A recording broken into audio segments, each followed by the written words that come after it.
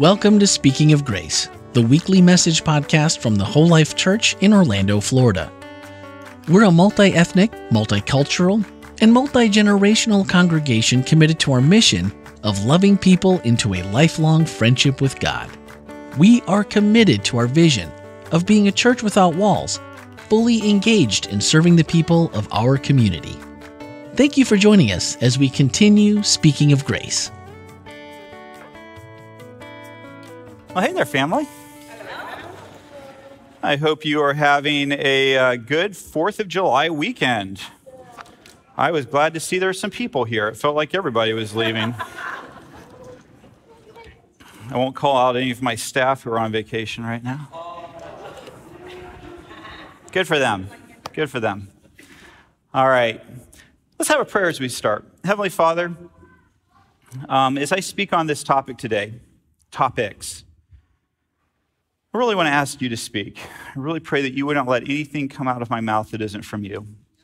I pray that you would help each person who's listening to hear what you're trying to say to them as well. Lord, may you be glorified, we pray in your name. Amen. Amen. All right. So, uh, for those of you who didn't know, we are doing a really fun series during the month of July that we're calling God on the Big Screen. What we're doing is I've picked five. You heard that they were my five favorite movies. Maybe not my favorite movies, but the five church appropriate movies that, uh, that, that will be here, right? Okay. To be appropriate for families to be viewing together, right? And besides that, I picked movies that I also thought had a point that I would like to make to you during this month, and as we talk about Arise being our theme for the year. So, the first movie that I chose for you to watch and that we showed on Tuesday night, if you weren't here, you really missed out. And the uh, children who are selling cookies really missed you. I want you to know they would, they cotton candy, there's all kinds of stuff. So, you know, bring your cash next Tuesday and, uh, and enjoy it. And we do provide free popcorn. So there's, there's that. So Tuesday night, 6 o'clock. But what we showed last Tuesday night was a movie called Good Night and Good Luck. I've been surprised at how many people have never watched this before, were not familiar with the, the movie. Put out right around 2005. Um, it tells the true story of a man named Edward R. Murrow, who is a broadcasting legend. When I worked in news, uh, there were the Edward R. Murrow Awards that you could win for broadcasting. I always dreamed of winning one, never did. Um, so that, that speaks more to me than anything else. But anyway, but, uh, but legend in broadcasting, absolute legend. Worked at CBS, CBS News Division. What really catapulted him into the legendary category was a battle he took on in the 1950s with uh, the senator, the junior senator from Wisconsin, as he loved to call him, um, Joe McCarthy. Uh, if you're not familiar with your history book when it comes to Joe McCarthy, um, let me just tell you really quick. Joe McCarthy in early 1950s produced, um, held up a piece of paper that he said had the names of 205 communists who were working in the United States State Department, and that the Secretary of State knew they were working there. And, he, and the U.S. Department Secretary of State was okay with them working there and shaping U.S. policy. Now, for those of you who may be a little bit younger than I am, being communist, called communist was not a good thing back then. Okay, like if you grew up in the late 70s, early 80s, like I did, um, about the worst label any child could call you on the playground was being a communist. I mean, that would be like, you know, well, I won't go there because it's like that could be that could be dangerous. I, I went there first service and decided not to do it second service. So the point is, it wasn't something that was flattering. Maybe you have to think a little bit of how we label people sometimes. Just saying. Anyway, point being, he said 205 communists. The only problem with this is that Joe never produced even a single name on that list. He never, he never gave the piece of paper. He was asked. In fact, they never were able to prove even one employee in the US State Department. Now, I'm sure there must have been one, right? but they weren't able to prove even one. But what happened is during this time period, Joe McCarthy started throwing that communist label onto anybody who disagreed with him. and he started using it as a tool to take on uh, his political opponents and people in the media and in different places like that. And so he started throwing that label around. And so this movie tells the story of how Edward R. Murrow actually stood up to Joe McCarthy. Now, as I watched the movie, I came across two themes. And these are the two themes that I came across. A rise to using media well, that was one, one that I saw. And the other was a rise to stand for what's right. So, which one do you want me to preach on? Second one? Is anybody okay with me just doing both? Okay. I want to do both. I know this is, you're not supposed to do this as a speaker. It confuses people, but you're a smart group of people. You can do this, right? You can keep two ideas at the same time. So that's what we're going to do. We're going to talk about both of these themes in this movie. So the movie actually begins and ends with a speech that Murrow gave on October 15, 1958, to the attendees of the Radio, Television, Digital News Association. Is a big deal in broadcasting. In uh, broadcasting, this this association is, and so Murrow gave, gives this speech, and it, it bookends the movie. He begins the movie with it. It ends the movie with it. Little hint. Usually, whatever you begin with and what you end with is kind of important to the overall story that you're telling. So, just a little thing when you watch movies, if you didn't know that, kind of think about how it wraps up, think about how it starts off, think about what changes in between, and you'll have a good idea of where that movie is driving and the message it's trying to push to you. And so, what happens is, is that Murrow, in this speech, a very famous speech that was known as the uh, Wires and Lights speech, the Wires and Lights speech, Murrow start, uses a very unpopular speech to give in this group of people because he basically lambasts them. And the beginning of the movie starts off with him talking about how rich and privileged the people in that room were and the ivory towers that they're sitting in. And, and basically what he says is, you guys have become very complacent. You have view the television as an opportunity to make money instead of inform people, to tell people information, to use it for something that I think is good. He had a very good reason for doing that. He had done that because he had just gotten in trouble recently for being too serious on television. His, uh, his boss is at, at CBS actually chastised him. They said, People don't want to watch this serious stuff you taking on Joe. It's depressing. It's, it's you know, don't do that. Just, you know, keep it light. Do, do little personal interviews and stuff like that. And he had uh, gotten in some trouble for that. And so he takes the media to task. And this is the last, uh, this is a little clip of that, uh, of that speech. This instrument can teach, it can illuminate, and yes, it can even inspire.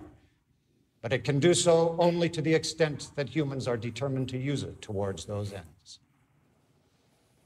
Otherwise, it is merely wires and lights in a box. Good night and good luck. Now, Murrow was concerned that, that it was just going to be used for mere entertainment. But I wonder if Murrow ever dreamed that the fact that you could marry entertainment with information and create a powerful medium for changing masses of people's minds. And in fact, I think that if we have seen over the last, what are we going on, 80 years now? Um, 70, um, something like that. I was never good at math. Um, I think what we've seen over the last decade since then is that media has figured out how to take and a story and embed it with values that push us in a direction. And I think it is very naive for us in this day and age of information to think that anything we watch isn't loaded, loaded with an agenda.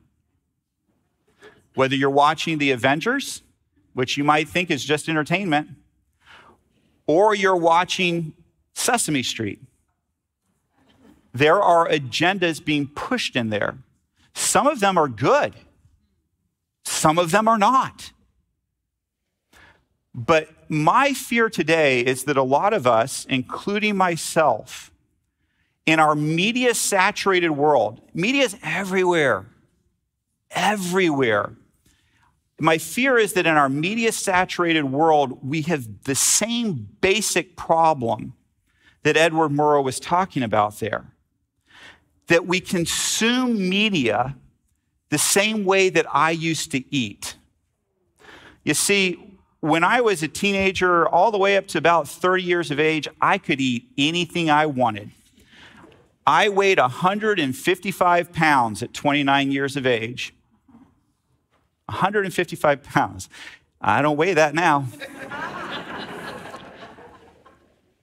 and here's the problem I could eat anything I wanted and keep it. I could not gain weight. I would drink those, like, I know, I know some of you are hating on me right now. I hate on my old self too. Um, but I could eat. I mean, it didn't matter. I could eat as much as I could shovel down, and it just wouldn't. I wouldn't get any pounds on me. But here's the problem. Here's the problem. It does make a difference now. and I developed habits then that have been very harmful to me now.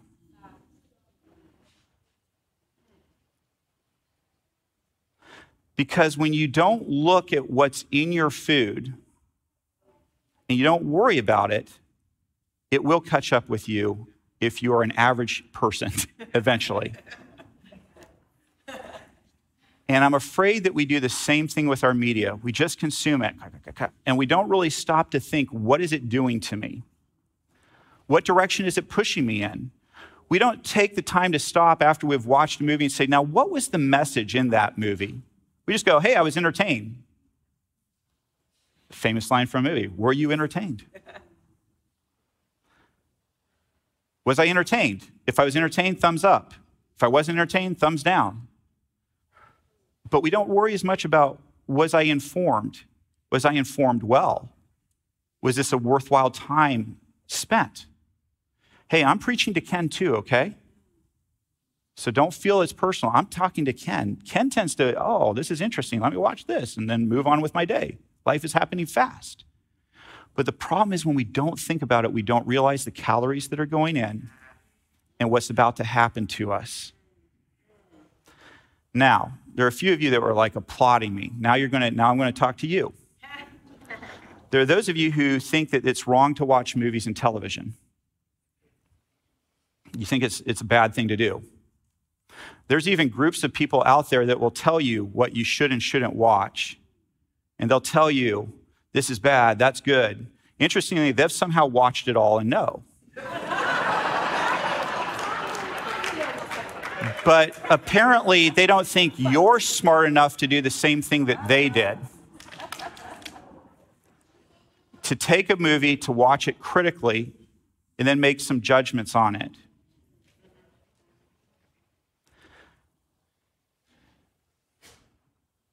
What's the problem here?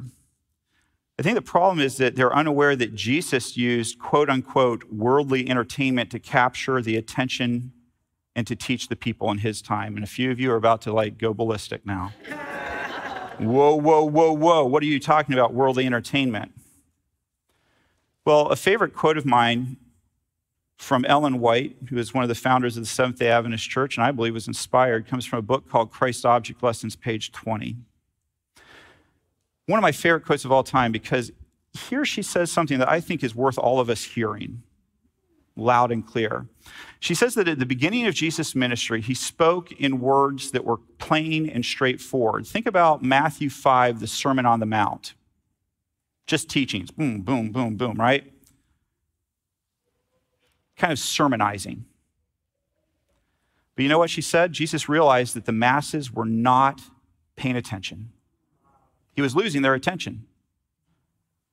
Now, I want you to think about this. Ellen then says that Jesus shifted to telling parables. So he goes from preaching at them to telling them stories. Boy, that ought to be instructive to us. If we're not able to capture people's attention, maybe we should stop and not blame them for our methods not working and re examine the methods we're using. This is what Ellen says parable teaching was popular. Oh, so it's not bad to use something that's popular. Parable teaching was popular and commanded the respect and attention not only of the Jews, but of the people of other nations. No more effective method of instruction could he have employed. Do you catch that? Jesus took a method. See, the method's not what's always wrong, it's how you use the method that can be right or wrong. He takes the method and he starts using it. Now, a few of you going, okay, I'm down with you still. That's all right.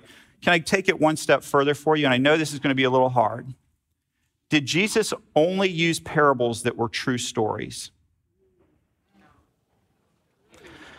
For all my Seventh day Adventist friends here in, in the church, you have to say no. You're required by Seventh day Adventist law to say no, even though there are those who will tell you within this denomination otherwise. Why? Well, Seventh day Adventists believe that when a person dies, they sleep, that they rest. They don't know anything until Jesus returns. Seventh day Adventists do not believe in an everlasting hell. Now, don't you remember a story that Jesus told called The Rich Man and Lazarus? Where there was a guy who had been kind of naughty, didn't care about the poor, and he goes to the bosom of Abraham where he sees another poor person. I'm sorry, Lazarus. Boy, I messed that up first service. Might want to go back and edit that. Um, the poor man goes to the bosom of Abraham, the rich man goes to hell. The poor man sees Lazarus suffering in hell and says, Hey, can I take a little bit of water to him? And Abraham goes, No, sorry, there's a chasm between us. And it's actually the rich man part of me who's asking for that water. And, and so there we go. I'm really butchering this one today. I, I apologize. I'm just so excited about it. My point is this Jesus took a story that was laced with Greek mythology, because that's where the, theory of hell comes from, by the way. It's not a Christian concept and it's not a, a Jewish concept, it is a Greek myth, myth. Jesus takes Greek mythology, he mixes it into his story. Why? Was Jesus trying to lie to them? No, because Jesus knew his listeners weren't getting a theological lesson on what happens to a person when they die. They were getting a theological lesson about not caring about the poor.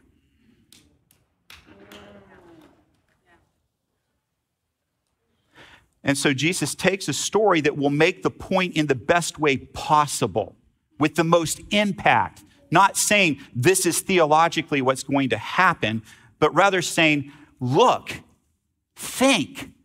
Think about that person you walk past every day and don't care about.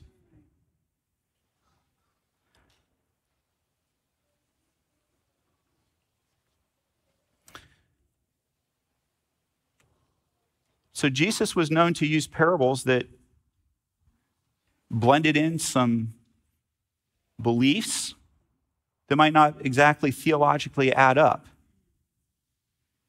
Again, don't lose sight. Jesus wasn't lying to anybody, he was telling the truth through that story to make a larger point.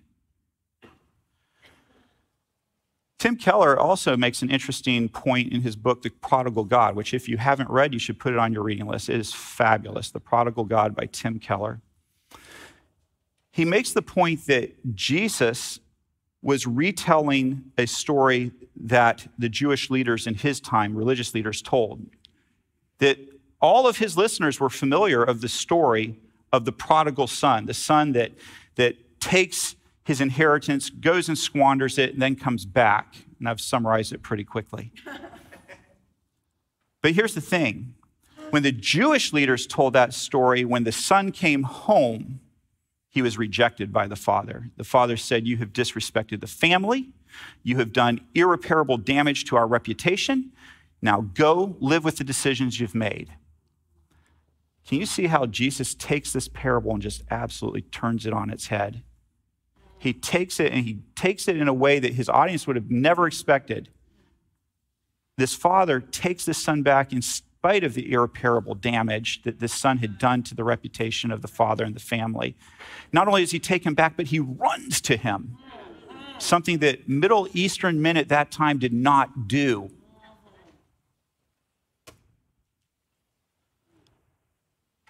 I think it's important that we be in the world but not of the world. But that doesn't mean that we don't see the things that are happening around us and be able to relate to people and share with people the gospel using images and, and dare I say it, movies and TV that they can relate with. Even if that movie's intended purpose wasn't the one that you're making for later. Jesus uh, has a, a, fun little parable that he tells about a um, dishonest servant. The dishonest servant steals from his master and then uses that money later on to buy some friends for himself so that when his master uh, fires him, he'll have some buddies out in the village. So he uses his master's wealth to buy influence for himself later on. And you would expect Jesus to, to give him a good slap on the wrist for that in his verbal telling of that parable. But instead, Jesus goes, Yeah, he was pretty smart. He commends him. And he says it this way He says, It is true that the children of this world are more shrewd in dealing with the world around them than are the children of light. Stop and think about that. Hollywood is way smarter than we as Seventh day Adventists are in the way that we deal with the people around us. They're very smart with the way that they put out the messages that they want to do, the things they want to say. And I don't bear them any ill will for it. What I do say is perhaps the people of God ought to wake up and use the technology that God has provided us with and speak in terms that are understandable to the world around us rather than in King James Version English that nobody on earth uses anymore.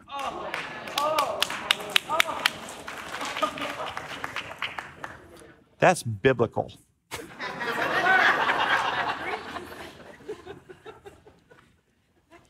Here's the lesson use your worldly resources to benefit others and to make friends. Then, when your possessions are gone, they will welcome you to an eternal home. What are you using the resources? What are you using the media that you consume to do? Just to entertain yourself, or are you using it to reach other people with the gospel of Christ? Are you using it to inform yourself so that you can understand what's happening in the world around you? Or are you taking it in just so you can be entertained? And in doing so, you become transformed into the image of the things that you're watching rather than being discerning with what you're watching. You know, we as Christians really love either ors, but sometimes we have to understand it's and. So let's go ahead and turn ourselves over to the standing up for what's right. Some of you who are paying attention know I'm running out of time, and that is true. Edward R. thank you. Murrow stood up to McCarthy, and I, I think that one of the things that as Christians, we have become such a painted verse culture. We want to have the right to speak our mind without the, co- the consequences that go with speaking our mind. And Murrow stood up and spoke the truth and understood there were going to be some consequences. And you know what? He and Fred Friendly, his producer, actually paid for the ad revenue that they lost when they spoke the truth. It came out of their pocket. There are a lot of us want to speak the truth but not pay the tab.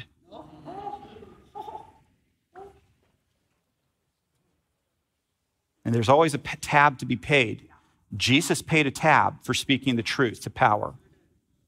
John the Baptist paid the tab for speaking the truth to power. Those three boys in Daniel, Shadrach, Meshach, and Abednego, paid the tab. They were willing to pay the tab. Daniel, the lion's den. Family. Speaking the truth, should, we should always do it, but we shouldn't be surprised when people aren't happy about it. We shouldn't be surprised about that. When Edward R. Murrow took McCarthy, uh, McCarthy on, McCarthy would come on and give a rebuttal to what McCarthy had said. And instead of rebutting the facts in the case, McCarthy just went after Murrow. He said that Murrow had belonged to a communist uh, affiliated labor union, which wasn't true. And he's tried to imply that, that that Murrow was pushing a communist agenda, which, if you know anything about Murrow, Murrow had no sympathy for communists. But he did have sympathy for people who were being bullied. And so, after that happens, this is Murrow's response on the air to what McCarthy had said about him. Having searched my conscience and my files, I cannot contend that I have always been right or wise, but I have attempted to pursue the truth with some diligence and to report it, even though, as in this case, I had been warned in advance that I would be subjected to the attentions of Senator McCarthy. We shall hope to deal with matters of more vital interest to the country next week. Good night and good luck. This weekend and on Monday, the United States is going to celebrate its 246th birthday. And one of the reasons I picked this movie is because I believe it is a patriotic movie. I know that we usually think the patriotic movies are the Saving Private Ryans or, or whatever, but this is a patriotic movie. Why? Because it goes back to one of the core principles of the United States the right to speak up to power. It is amazing to me how many people and politicians in this country have forgotten that our country was founded 246 years ago by a bunch of people who stood up to King George in England and said, That's not right. That's not right. In British countries, there's a thing called the loyal opposition. And it's the idea that you are still loyal even if you oppose the policies that the country is pursuing.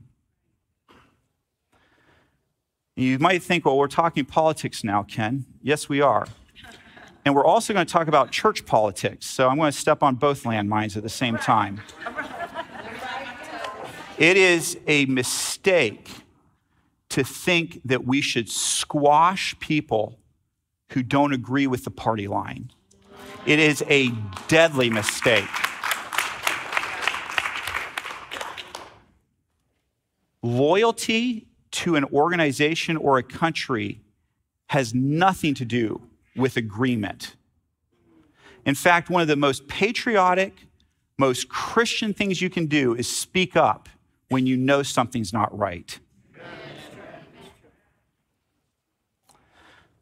George Clooney, who wrote and directed and starred in Good Night and Good Luck, tells us why he wrote the movie. He did it because he was mad about being called a traitor after calling into question why American troops were going to go into Iraq the second time.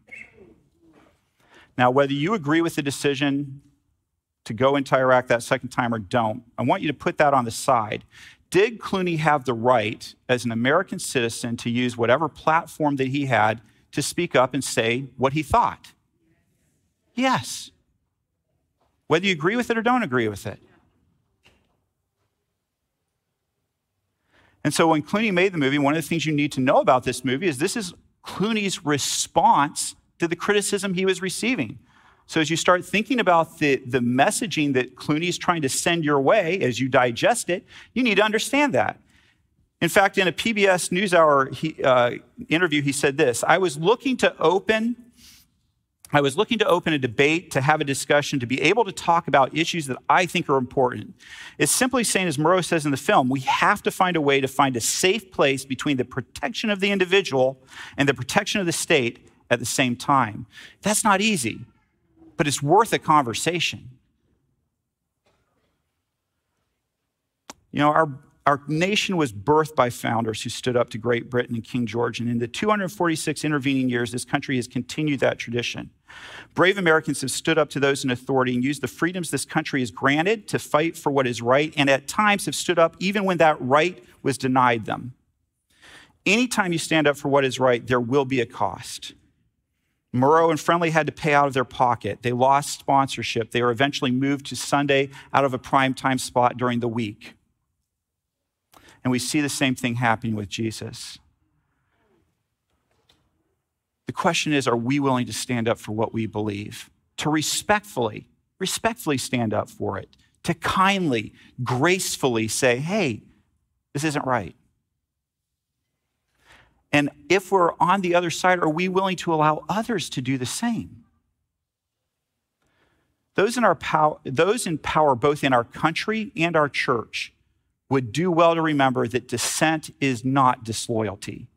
Dissent is the vaccine that keeps the virus of power from destroying the body.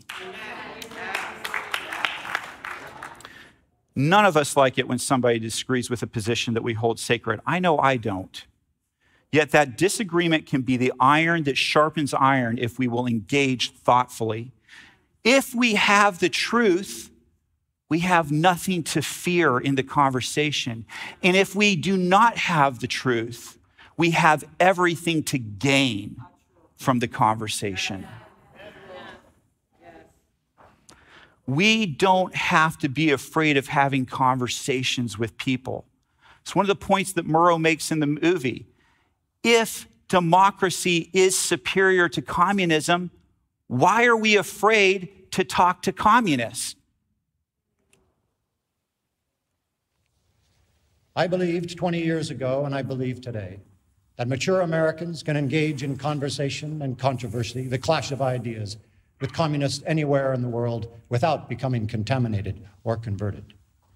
I believe that our faith, our conviction, our determination are stronger than theirs, and that we can compete and successfully, not only in the area of bombs, but in the area of ideas. I believe that is true both politically in our country, and I believe that is true within the church. There are some very difficult issues facing the Christian church and the Seventh day Adventist church. And the answer is not to shut down dialogue, it's to open dialogue It's to talk more, not talk less. It's to allow voices that disagree with us to be heard rather than stifling them and shuffling them out of the way.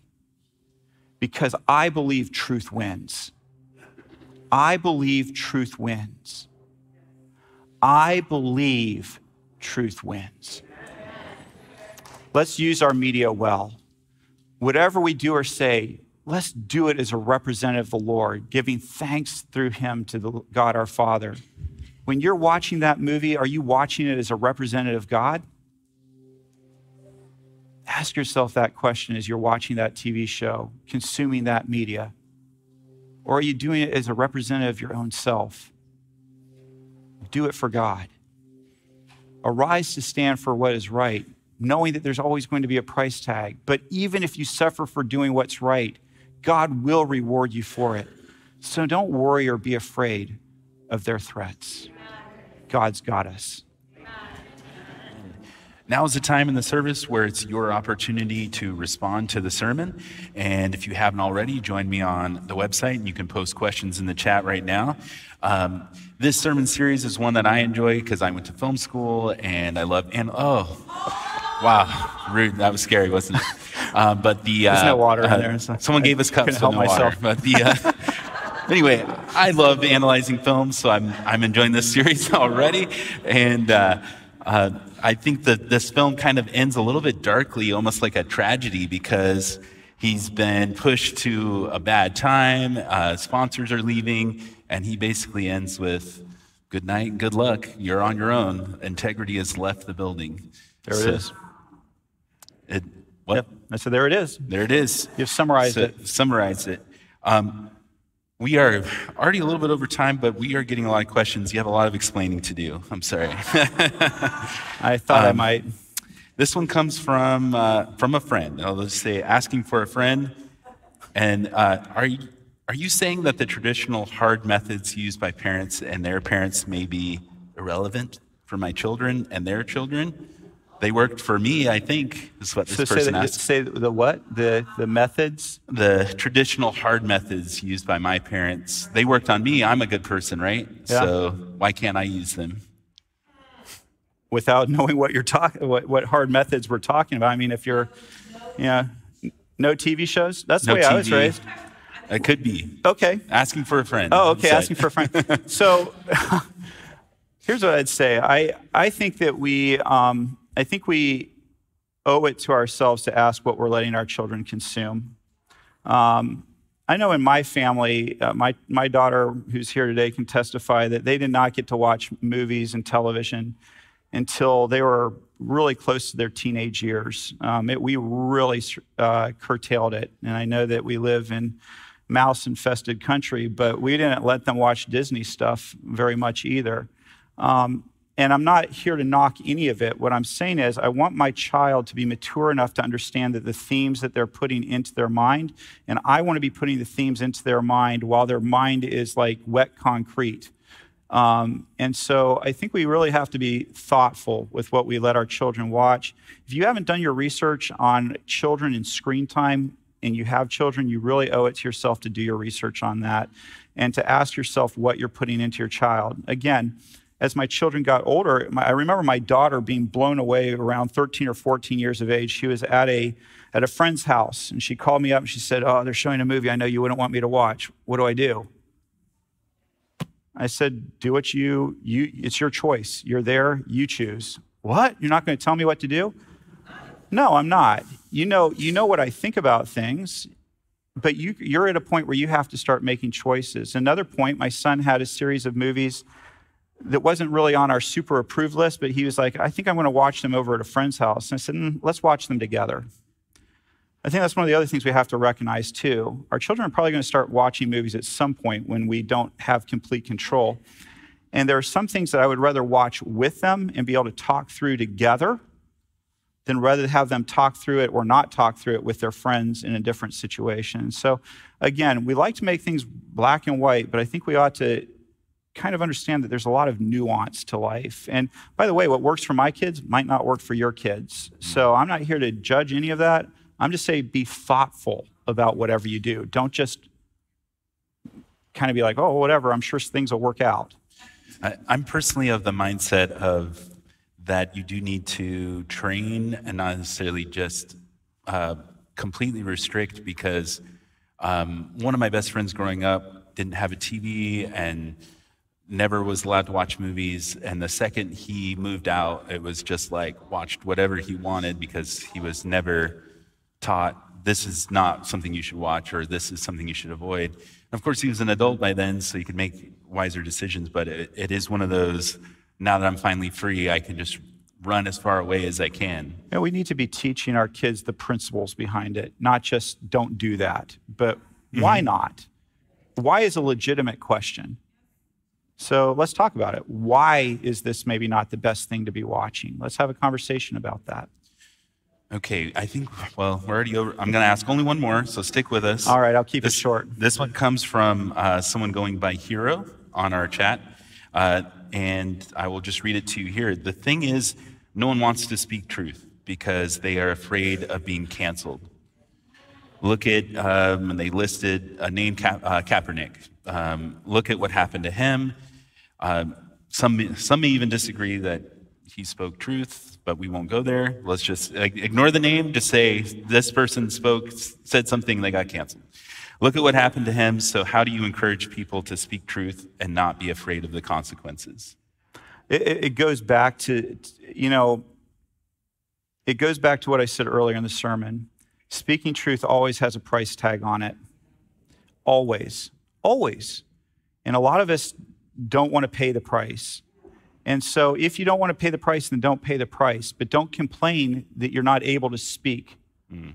You can speak, there's just a price tag that goes with it. Jesus had to pay a price. We have to pay a price sometimes. And, and goodness knows, I'm the first one to start whining when I have to pay the price. I'll cry about it. I don't, I, you know, it hurts my feelings when a church member says, Oh, you're so wrong in your sermon, blah, blah, blah, you know, this and this, this, this, and that. It hurts my feelings. It does. But it's the price of getting up front and speaking. It's the price. I don't have to like it. I just have to understand it's part of what, what happens. And we can be risk adverse and we should complain that we shouldn't have to pay a price. And by the way, and I'm not using any particular example, there are some people who should pay a price for what they say. You know? Mm. There's some things that are really hateful that deserve a price tag on them. So uh, I worry about cancel culture too. Um, I do. But I don't I think the answer to cancel culture is to just keep speaking the truth. That's what I think the answer is. Keep it to the truth. Well, I'm sorry, Tim and Igor and others. We will get to your questions uh, at our podcast, and there's some good ones here. that podcast is called This is Whole Life and it comes out Wednesday morning. It's available everywhere that podcasts are heard. And thank you so much. And I uh, look forward to that podcast. Thank you, Stanley. Amari, is it going to embarrass you if you come stand here beside me? If it is, you don't have to. Yeah. If you aren't if you aren't here earlier, Amari got baptized this morning, and we're really proud of you. And uh, I want you to look out at all these people. This is your family. I know there's there's you know blood family right down here, but that's your family, and I want you to kind of see it because it matters. You know, families. Uh, my family doesn't politically agree. I have family members that agree on a lot of different political things or a lot of different places religiously, but we're family we still keep our last name or family. So let's be that way. Let's be the church that loves each other, looks at things differently, but we're loving about it. And Omari, you're a part of that now. You were before, but it's official now. Let's pray. Heavenly Father, we thank you for Omari, for the decision he's made. I'm so proud of him, Lord. I want to pray that there are others in this room who need to make that same decision for you. I want to pray that they would. Pray they'd be inspired by his testimony. And Lord, I pray that the Holy Spirit would rest heavy on Omari. I pray he would be a man that does your will, that speaks your truth, that isn't afraid to pay the price for following you, knowing that there is a crown stored up for him in heaven if he's faithful.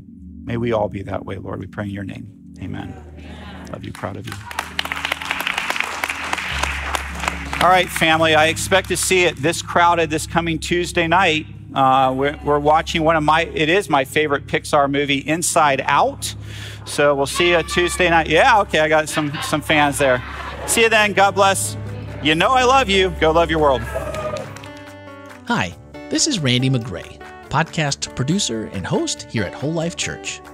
Loving people into a lifelong friendship with God is our mission at the Whole Life Church, and our podcasts, Speaking of Grace and its companion, 15 with Andy, Randy, and Jeff, are designed to help facilitate conversations that help us grow together in that pursuit.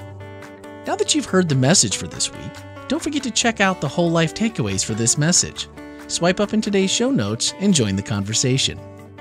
Speaking of conversations, each Wednesday morning we take a closer look at the week's message. That's right, the one you just listened to.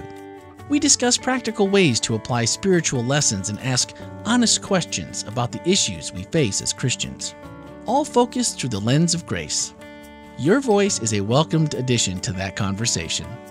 We encourage your thoughts and your questions by sending a voicemail or text to 407 965 1607 or send an email to podcast at wholelife.church. You can find everything podcast related on our website, wholelife.church slash podcast. And plan on spending every Tuesday evening and Wednesday morning with us as we bring you the Whole Life Church inspiration you love straight into your headphones. Thanks for listening and have a great week.